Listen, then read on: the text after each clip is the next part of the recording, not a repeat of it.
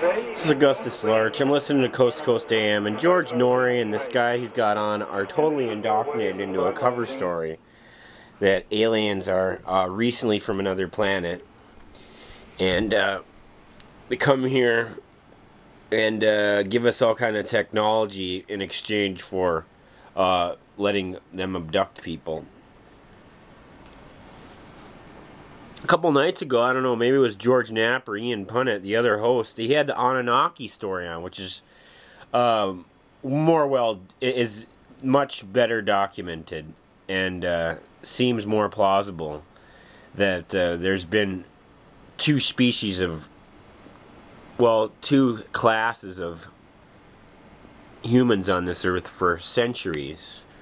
The Nephilim and us regular people that are the slaves to them. People were genetically engineered to serve this race of people that in the Bible they're called the Nephilim, or some people call them the Anunnaki. But they could have a cover story too. But I pretty much believe that that uh, that's pretty much the case.